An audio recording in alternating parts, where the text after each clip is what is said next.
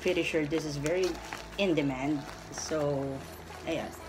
Ipapakita ko lahat na, or sasabihin ko din lahat ng kailangan nyo malaman if you ordered stuff like this. What you need to know, what must and must not, which one is better. Okay, because there are two types of this. So, let's do uh, the unpacking. Okay. So this is from Lazada. I got it for like 350. Yeah, 350 and this is very uh, uh, affordable.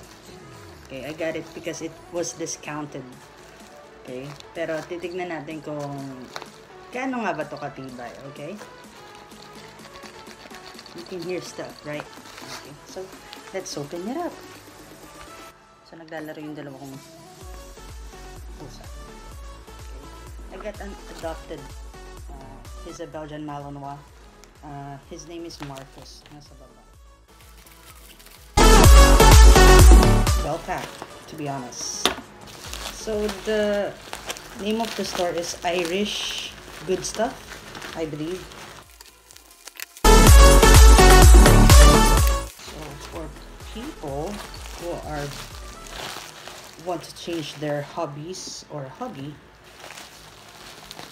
into something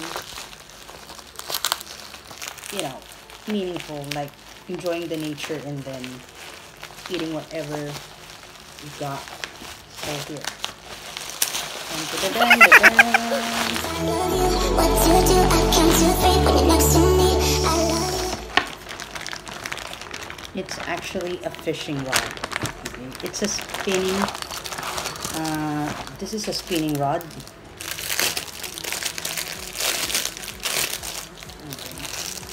There are two types of this. The other one is casting rod. I'm not sure kung gaano katibay ito. But we'll see. We'll do some testing later. So these are the freebies. So you get floaters, uh, coil, and the bell. Yes. This is the coil. To tell you the function of this. Uh, I'm not sure what is this. I guess this is a bait. I'm not sure with this one. This one is a bait, I guess. Not sure. You see that? Yeah. And then the hooks. Mm, You got hooks. Yeah. I don't know what's this floater. Uh, I think this is when you caught the fish. Ito yung pang kuha. Not sure. The connector. Saan ba to? Okay. Another coil. And this is the bell. Para pag may nahuli, maririnig mo. And another connector. Um, I'm not quite sure what's this. Um, let's see. Yeah, I'm not sure what is this. Oh, well, whatever. But this one is a sinker. Okay. Next one is the the reel. Okay, so of course, this is a spinning reel. Uh, 1,000. Okay. So may kasama na siyang uh, fishing line. Okay.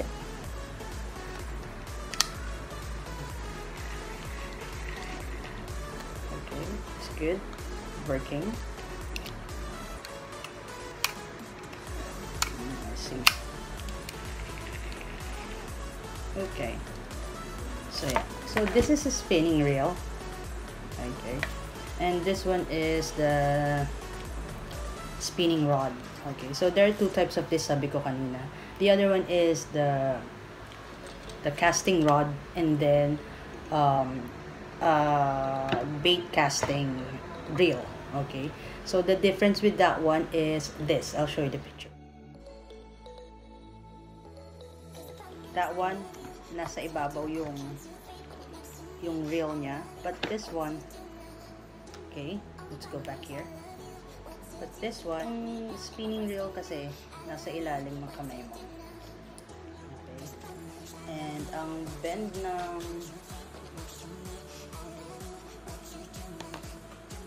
and ang bend ng ah, rod mo yung mga you see this this is the floating ring so pababa siya so kapag nakahuli ka pababa pababa sila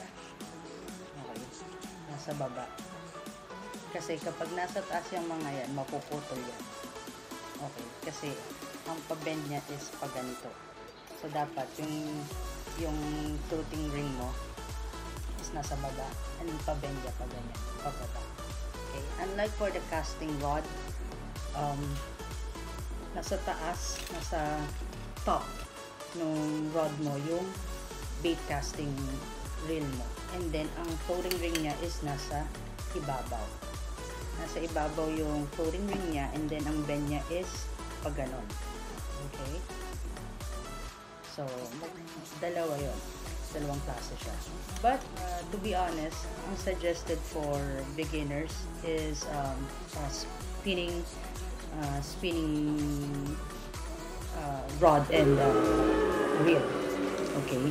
Because uh, masyadong technical ang paggamit ng ng casting or and uh, bait casting uh, reel.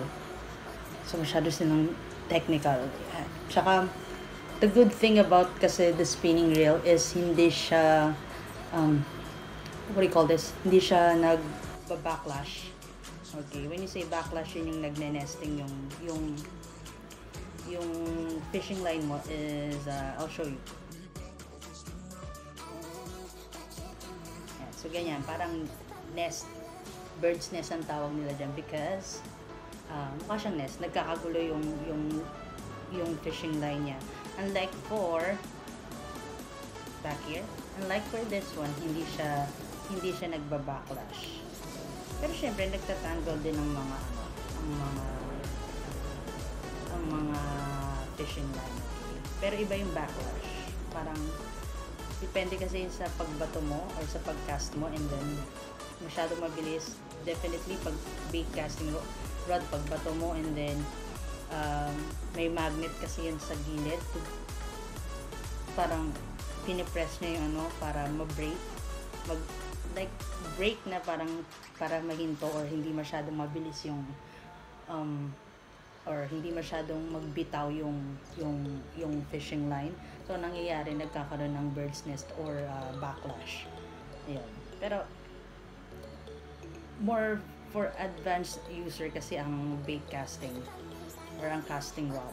Okay. So unlike for the spinning kasi these are for beginners and uh, para sa mga experience na rin. Tsaka for light fishing kasi to. Hindi katulad ng um, ng bait cast casting. And this one kasi, you can do light fishing for this one. So, um, kung gusto mong manghuli ng mas malaki using a spinning, tataasan mo yung yung yung gear mo na to. Itong spinning uh, reel mo. Tataasan mo siya. I think this is 1,000 to 10,000.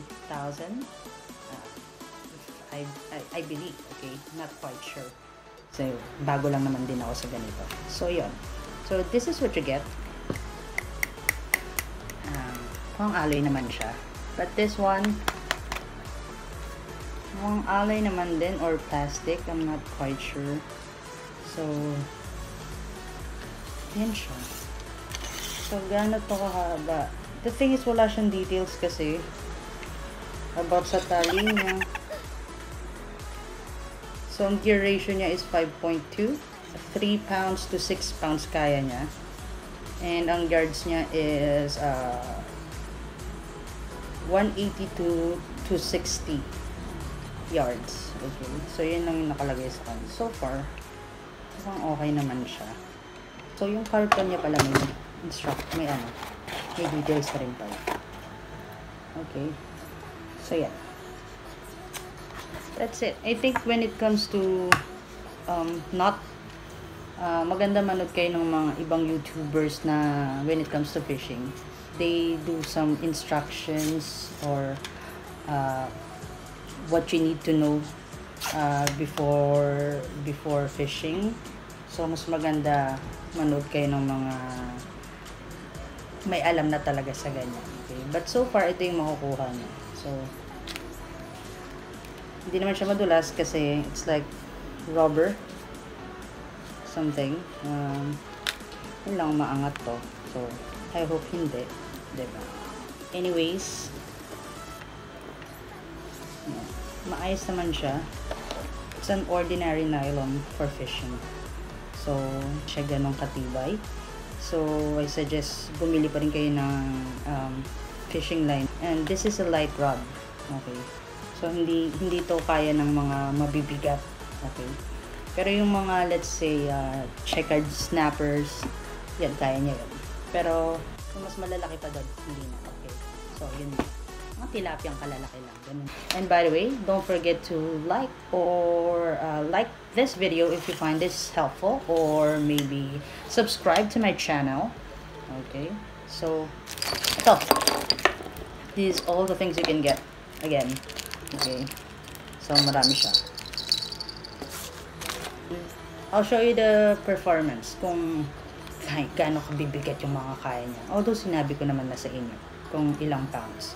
Okay, but still, I'm gonna give you a sample video kung anong kaya niyang i-carry.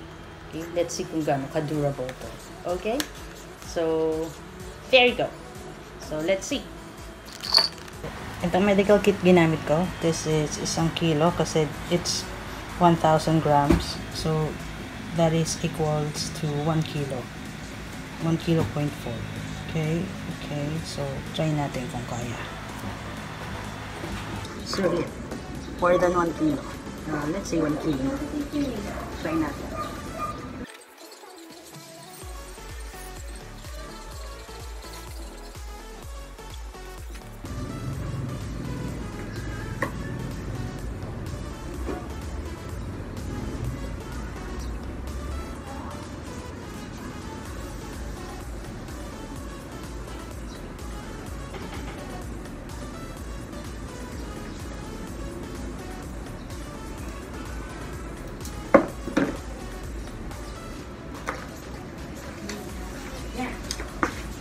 Okay, so kaya ng 1 kilo. Um, but I suggest palitan yung fishing line kasi feeling ko manipis to. So, it's working. Kaya naman niya, hindi naman siya naputol or something. So, hindi ko na ginamit yung pinakadulo. Just this one, the last part. And uh, hindi ko na rin masyado inayos yung aking knot. It's a T-knot, pero hindi ko na masyado inayos. Just testing. And hindi ako gumamit ng hook, just a clip because I don't wanna open those stuff. At maliliit lang naman yung hook. So yan, kaya niya ng 1 kilo. So, pwede siya. Okay, but I still suggest for like uh, fishing. So, ganda wag na lumagpas ng 1 kilo. So, medyo nakakatakot but kaya naman niya so far. So, there you go. Okay, so tested and yeah, you can buy this. But I still suggest this is for one-time use or beginner who wants to learn fishing pa lang. Okay. But if you want to make it a hobby again, not this one, buy a better one. Okay. So yeah. Um, how do I close this? Here. Okay, so it's good. It's a telescopic uh, made of alloy.